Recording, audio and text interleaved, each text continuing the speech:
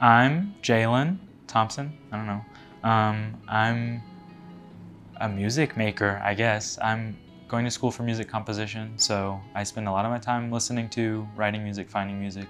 But on the side, I kind of make my own music, and that's what we're doing today is making a music video for it. So I'm very excited. I've never made a music video before, so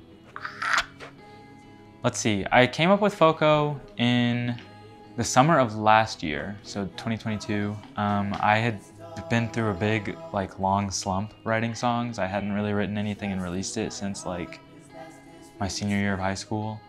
And I was kind of just in the mood to finally like actually write something and release it. So it, I took like two weeks and just hammered out a song and was like freaking out about it for weeks after that. And I, it still took me a while to release it, but I was really excited because it was the first song I had written in a long time. Probably the first song I released since I had moved to Colorado. I'm from Missouri, so it was kind of like this song acknowledging like all the stuff that I've done since I left home and I've lived in Colorado since I left home in 2020, so I'm like a big kid. And it's kind of like my big kid song. Like I'm, I'm out and I'm on my own, so. The sample at the end is actually a speech from George Washington Carver. Figure it out for yourself, my man. You've all that the greatest of men have had.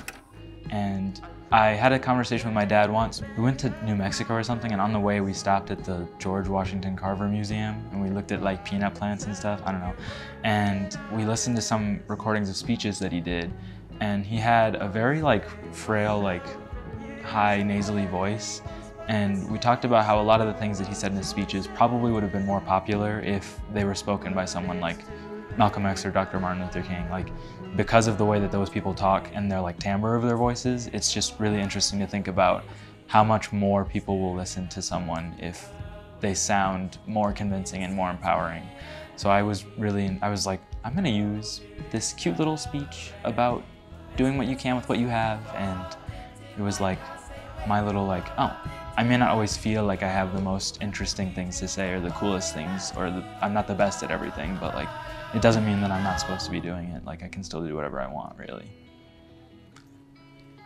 When I was in high school, I was a nerd, just like everyone else, and I was like, this is my made up word. I made this word up, and it's what I'm gonna use for something. I don't know what yet.